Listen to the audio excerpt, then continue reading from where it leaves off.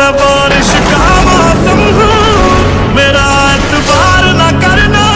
कुछ भी हो जाए